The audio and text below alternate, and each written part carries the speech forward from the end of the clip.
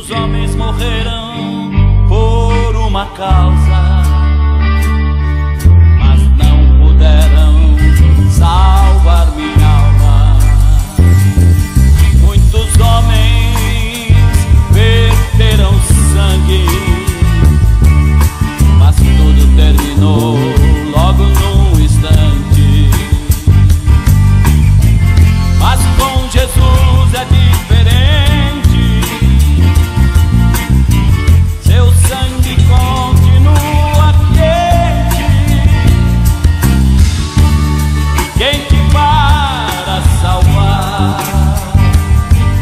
a paz.